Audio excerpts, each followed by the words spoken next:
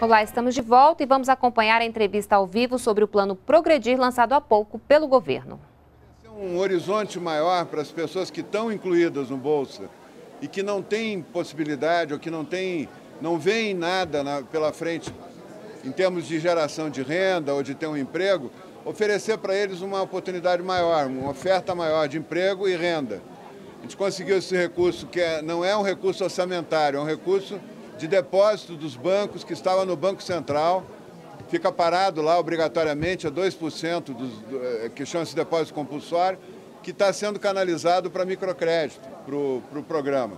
Então, é, isso, isso dá a cada ano 3 bilhões de reais vão entrar como oferta de microcrédito para o Bolsa Família. Isso vai aumentar, inclusive incentivar que mais famílias, mais pessoas se candidatem. E todas as empresas, nós vamos trabalhar com todas as empresas, principalmente essas do ramo do comércio, de serviços, que tem uma oferta maior de empregos, possam de, é, dedicar 10% dos empregos gerados, dos novos empregos gerados, para o Bolsa Família, em especial para os jovens do Bolsa Família. Vamos, captar, vamos fazer com que todos tenham, ah, sejam capacitados na área da tecnologia da informação, os jovens principalmente. É, e vamos fazer com que o Pronatec, que o ministro Mendonça conseguiu um milhão de vagas eh, do Pronatec voluntário, seja um Pronatec de acordo com a realidade local. O Pronatec não funcionou até hoje no Brasil de forma adequada porque ela vinha de, de cima para baixo.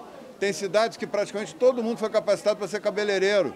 Eu não tem mercado de trabalho para isso. Né? Nós temos que ver o que, que precisa no mercado local, é, dentro dos arranjos produtivos locais, e aí sim fazer a capacitação Pronatec. A gente juntou tudo isso é, com, com vantagens para o pessoal que assinar carteira ainda continuar no Bolsa Família por um período, tirar o medo das pessoas de perder o Bolsa Família se perderem o emprego e ficar sem nada. Né? Então, é, é um incentivo a progredir, a melhorar de vida. Essa é, essa é a essência do programa. O recurso do Banco Central já está disponível. Agora o presidente assinou o decreto, os bancos vão procurar, isso vai ser feito através do Banco do Nordeste, Banco do Brasil, da Caixa, eles vão ter, e, e os bancos privados também que quiserem. Eles vão poder pegar esse recurso que está lá depositado, está parado no banco, no Banco Central, para ser utilizado. As empresas já vão começar a oferecer, o setor hoteleiro do Rio já está oferecendo até, dentro de um programa maior de enfrentamento à violência no Rio, vai ter uma oferta é, importante de empregos para os jovens que vivem nas favelas, nas zonas de risco, que são da, da, da, do Bolsa Família. Então tem uma série de, de questões que já começam, isso é uma coisa de curto prazo. E nós estamos montando o portal, que vai, esse sim deve ter mais um, uma ou duas semanas para ficar pronto, que todos vão poder acessar para entrar no, no, no, programa, tanto a, as prefeituras quanto os, os próprios usuários do Bolsa Família.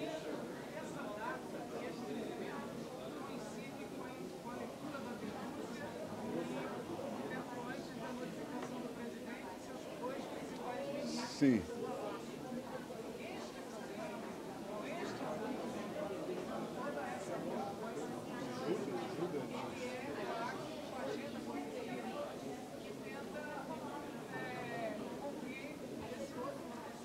Se tu me permitir, né, não é a agenda política. Nós estamos insistindo há muito tempo para que isso acontecesse. Nós estamos construindo, agora ficou pronta a construção.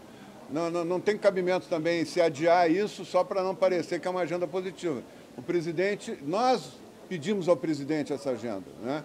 E o presidente é, aceitou e, e, e aconteceu. O, a, é uma coincidência a data, mas isso é um programa que está sendo construído que não tem cabimento a gente deixar as pessoas sem oferta de emprego, de microcrédito, só porque tem uma discussão no Congresso. Eu acho que o programa é para. Estava é, na data certa, estava maduro para acontecer agora. E já estava programado há muito tempo. Né?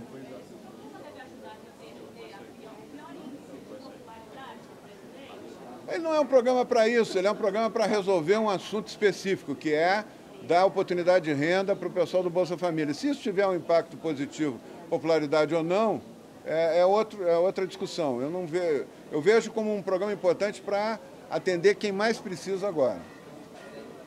Tá bem? Obrigado.